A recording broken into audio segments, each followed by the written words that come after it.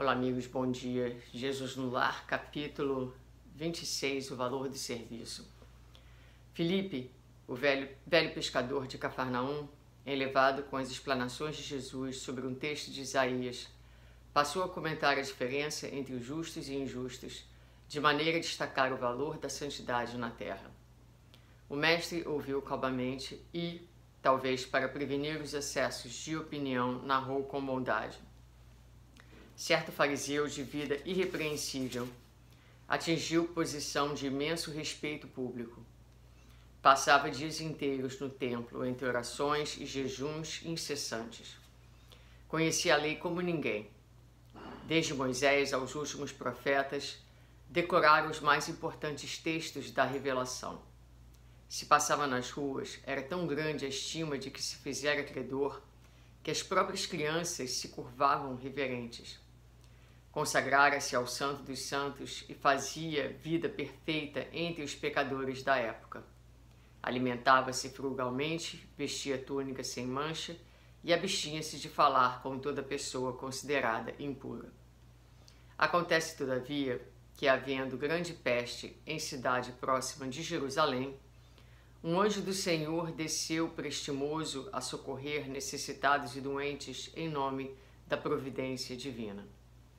Necessitava, porém, de mãos diligentes de um homem, através das quais pudesse trabalhar, apressado, em benefício de enfermos e sofredores.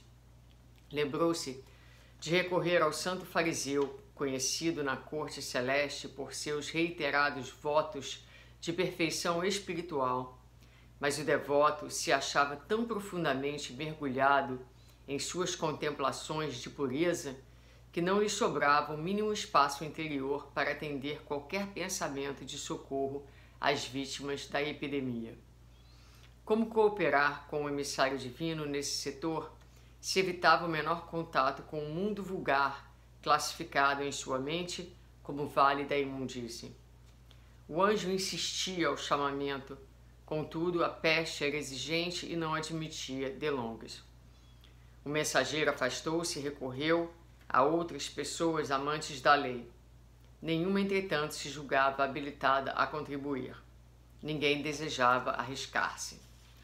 Instado pelas reclamações do serviço, o enviado de cima encontrou o antigo criminoso que mantinha o propósito de regenerar-se através dos fios invisíveis do pensamento, convidou-o a segui-lo.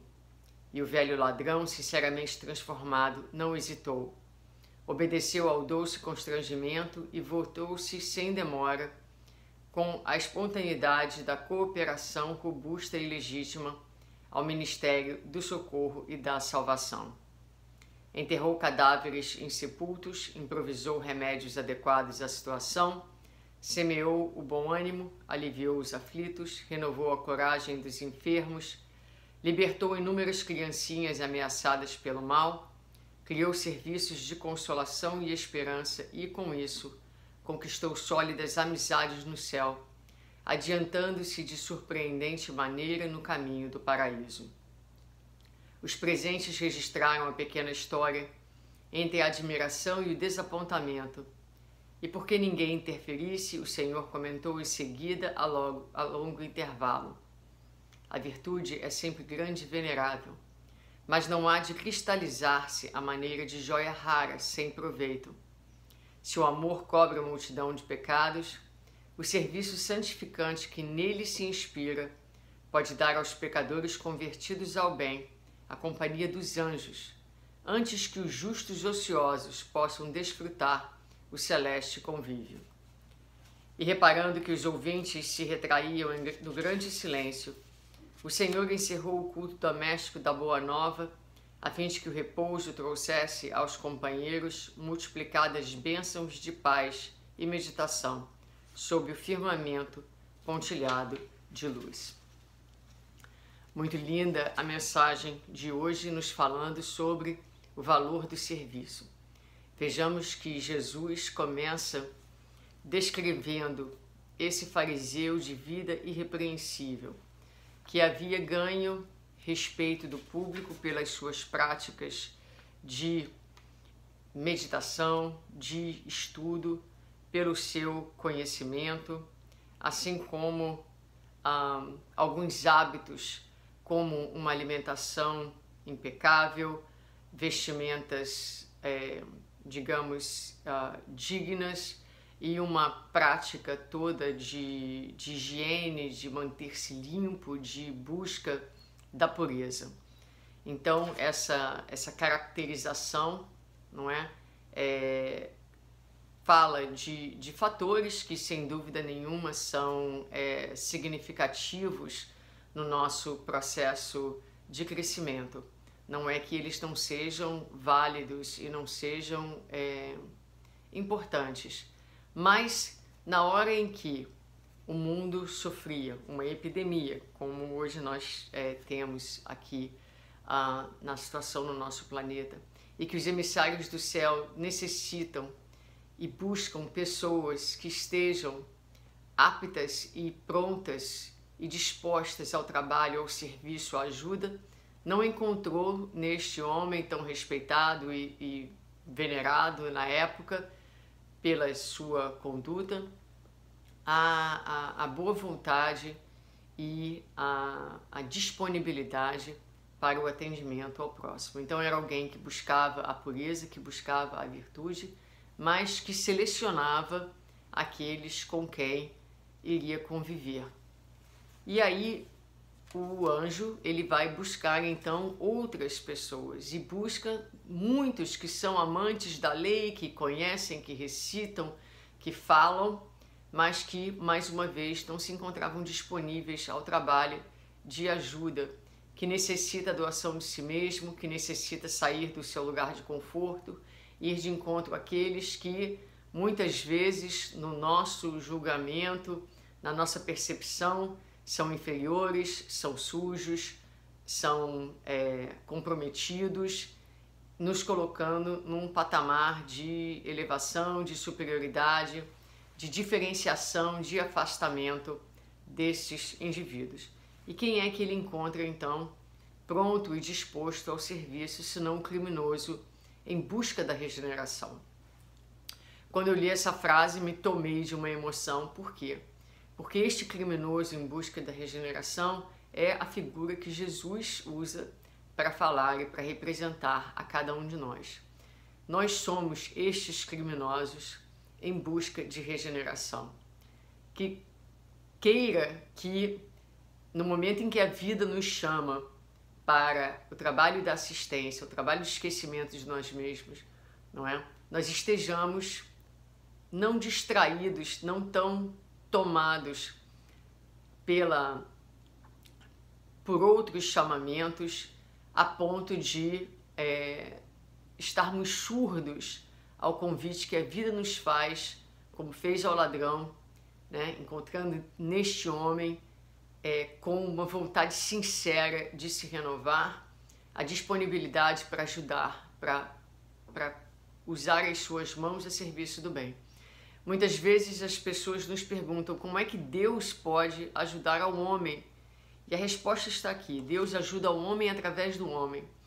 E o que acontece com o ladrão? Na medida em que ele coloca as suas mãos, o seu coração, os seus talentos a serviço da vida e do seu próximo, ele vai angariando aquelas amizades celestes.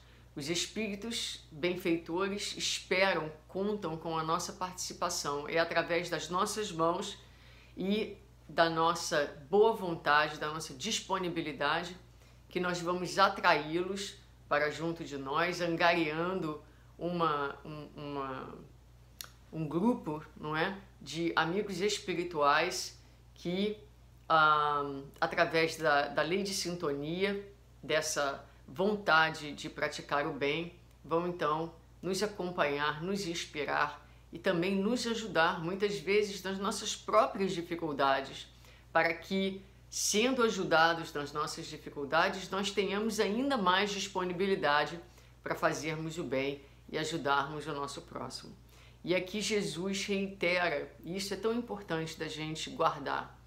A virtude é sempre grande e venerável, mas não há de cristalizar-se a maneira de joia rara sem proveito. Então, todo conhecimento, tudo aquilo que a gente angaria, todas as bênçãos, ah, tudo que nós é, absorvemos nas nossas orações, nas nossas meditações, no conhecimento do Evangelho, vai se tornar é, uma joia rara sem proveito se não for utilizada a serviço da vida do próximo e da nossa própria renovação.